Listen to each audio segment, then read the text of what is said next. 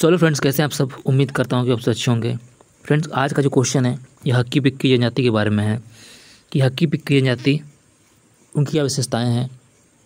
उत्पत्ति कहाँ से हुई? वे किन किन जगहों में भारत में पाए जाते हैं? निवास करते हैं। तो उनके बारे में जो सारी विशेषताएँ हैं, उनके बारे में बातचीत करेंगे। आप लोग हक्की पिक्की जनजाति को अच्छी तरीके से जानते होंगे। उनके ऊपर बहुत सारी वीडियोज़ बन रही है, क्योंकि वे जो आदिवासी हर्बल ऑयल है, उनकी मार्केटिंग कर रहे हैं, बेच रहे हैं। इसी कारण से बहुत सारे यूट्यूब वीडियोस उन पर बनाए गए हैं, बहुत सारे एड्स आते रहते हैं। तो हाँ वही हक्की पिक्की समुदाय के बारे में बात करेंगे आज। उनका परिचय शुरुआत करते हैं। खास का जो वीडियो है, ये उनकी विशेषताएँ हैं, उनको बताती है। हक्की पिक्की समुदाय की जनजाति की जो विशेषताएँ हैं, उनको एक्सप्लेन करती है वीडियो तो करते हैं शुरुआत परिचय से। हक्की पिक्की जो जनजाति है एक अर्धघुमंतु जनजाति है, यानी कुछ लोग वनों में घूमते हैं। करके गुजारा करते हैं, कुछ जन आपस में ही एक कम्युनिटी बना कर रहते हैं, जो परंपरागत रूप से पक्षियों को पकड़ती है और उनका शिकार करती है। इनकी परंपरा है पक्षियों को पकड़ के शिकार करना, तथा पश्चिमी एवं दक्षिण भारत के वन क्षेत्रों में निवास करती है, तथा भारत के जो पश्चिम हिस्सा है, पश्चिमी इलाका है और दक्षिण भारत, वहाँ ये निवास करती है। ये कर्नाटक की एक अनुसूचित जनजाति है और ऐतिहासिक दृष्टि से राणा प्रताप सिंह के साथ इनका पैतृक संबंध माना जाता है। तो ये जो भारत का राज्य कर्नाटक है, वहाँ की एक अनुसूचित जनजाति की गिनती में आती है।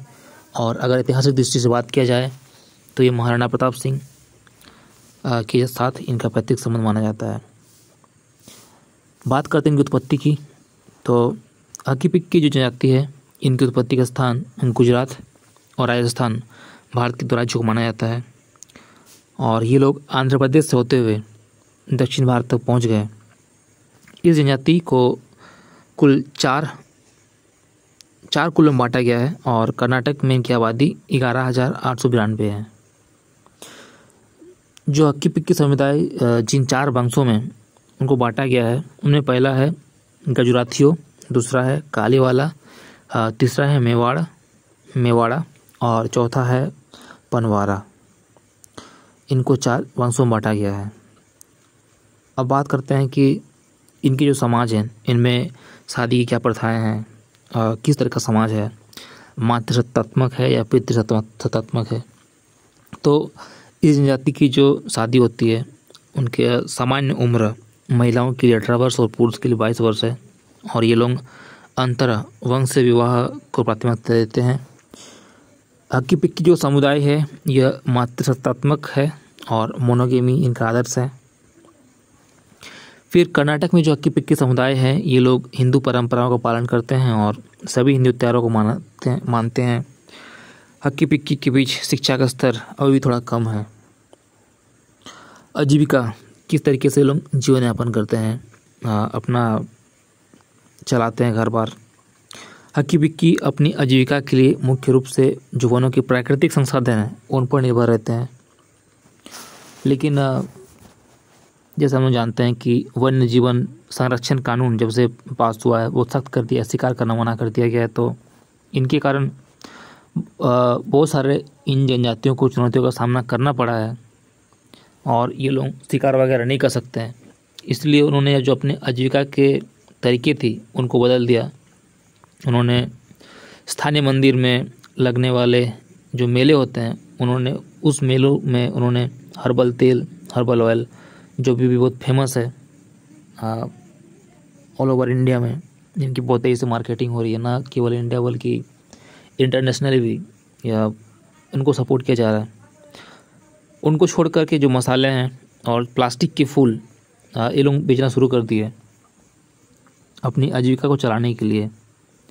फिर बात करते हैं इनका प्रवास के बारे में तो ये जो हक्की पिक्की समुदाय के लोग हैं अपने हर्बल ऑयल को बेचने के लिए एक अच्छा अवसर प्राप्त करने के लिए अंतर्राष्ट्रीय बाज़ार की ओर इन्होंने रुक भी किया। एक अनुसूचित जनजाति होते हुए भी इंटरनेशनलाइज होने की, जो इनकी एक बोल सकते हैं कि एक अच्छी पहल इनको आज बहुत दूर तक लेके जा रही है। तो हाल के वर्षों में देखा गया कि जो हक्की पिक्की जनजाति हैं, उनके सदस्य अपने उत्पाद को बेचने के लिए अफ्रीकी देशों की यात्रा कर कर रहे हैं, क्योंकि इस महाद्वीप में आयुर्वेदिक उत्पादों की भारी मांग है। अफ्रीकी देशों के जो बाज़ार हैं वहाँ इन लोगों को बेहतर अवसर उपलब्ध हो रहे हैं और वहाँ कच्चे संसाधन जैसे हिबिस्कस पाउडर, तेल निष्कर्षण, आंवला, आयुर्वेदिक पौधे इन चीज़ों में निवेश करके अक्की पिक्की समुदाय के लोगों को अच्छा रिटर्न प्राप्त होने की संभावना बन रही है। वो लोग अपनी आजीविका चला भी रहे हैं और अपनी जो एक ख़ास पहचान है, उसको अंतर्राष्ट्रीय स्तर में बढ़ा भी रहे हैं। तो फ्रेंड्स ये था हक्की पिक्की समुदाय की विशेषताएँ। एक बार रिवाइज कर देता हूँ कि पहले इनका मैं परिचय बताया। दूसरा चीज़, इनकी उत्पत्ति कहाँ से हुई? तीसरा, इनके जो चार वंश है, जिसमें गुजरातियों, कालीवाला, मेवाड़ा पनवाड़ा फिर इन समाज में शादियों की जो निम्नतम वर्ष है पुरुष के लिए और महिलाओं के लिए, ये मैंने बताया आपको। यहाँ की जो समाज है, यह मत सतात्मक है। ये सब मेन पॉइंट सब है ये लोग हिंदू परंपराओं का पालन करते हैं। इन लोगों में शिक्षा का स्तर कम है। आजीविका के लिए लोग शिकार वगैरह पहले करते थे, किंतु वन्य जीवन संरक्षण के कठोर नियमों के कारण इन्होंने अपना व्यवसाय को बदल करके हर्बल तेल मसाले प्लास्टिक के फूल सब बेचना चालू कर दिए जो मंदिर के सामने मेले वगैरह होते थे तो उन्होंने वहाँ पे ये सब बेचना चालू कर दिए। फिर आ, इसी पहचान को बढ़ाते हुए लोगों ने देश के बाहर जाकर अफ्रीकी महाद्वीप में इनका व्यवसाय को बढ़ाया क्योंकि उन अफ्रीकी जगहों में अफ्रीकी देशों में इस महाद्वीप में आयुर्वेदिक उत्पादों की भारी मांग थी और इन्होंने उसकी पूर्ति करने की सोची, उनको सूझा कि एक अच्छा अवसर हो सकता है व्यापार को बढ़ाने का। तो इन्होंने जो हिबिस्कस हो गया, हिबिस्कस पाउडर और आंवला, इस तरह के जो आयुर्वेदिक पौधे थे, उन्होंने इन चीज़ों में निवेश करके वहाँ से अच्छा रिटर्न कमाया और अभी भी वे वहाँ जाते हैं, अपना बिज़नेस करते हैं। Thank you